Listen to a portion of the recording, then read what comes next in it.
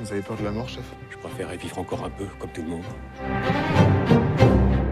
On a toute la vie devant nous, non? Bah non, la vie c'est court, tu sais.